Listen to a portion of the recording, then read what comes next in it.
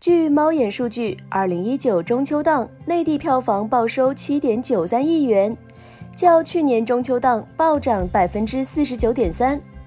单片方面，《诛仙一》收二点七亿，居首位；《名侦探柯南：干旅之拳》收一点五九亿，居次，同时也打破该系列剧场版在华的最高票房纪录。